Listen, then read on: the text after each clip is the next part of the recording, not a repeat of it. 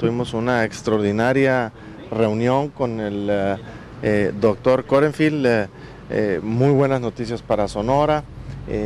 recibimos todo el apoyo del señor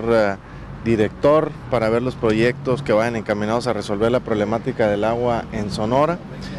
Mucho interés en el acueducto de Independencia, revisamos punto por punto cómo va su avance, la situación en la que está ahorita eh, en funciones, estuvimos revisando todos los aspectos